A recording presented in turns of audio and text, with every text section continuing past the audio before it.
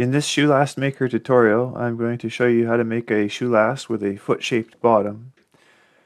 So in shoe last maker here, you hit the build button and now choose the last toe template first and the body template as well and then a template for uh, the insert or also known as the orthotic or insole template.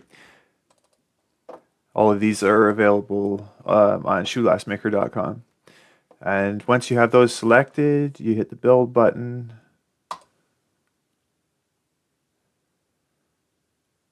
Takes a moment to uh, incorporate all of these templates.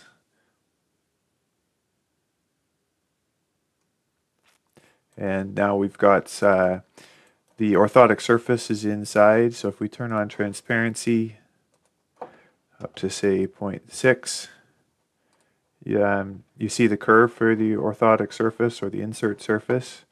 Uh, now in the options menu, we'll turn on uh, trim last by insert surface. So check that and now hit the rebuild button.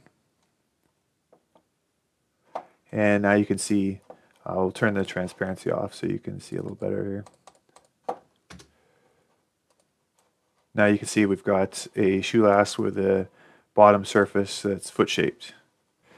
All of the curves defining the uh, bottom foot shaped surface of the shoe last can all be edited as I showed in the video on uh, designing insole surfaces in uh, shoe last maker.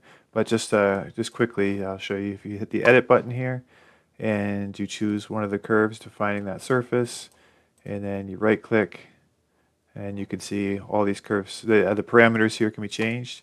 So just to make this uh, a little smoother here, a little more realistically foot shaped, we'll increase this up to 50% on that control point curve spacing. And you can see that smooths that out.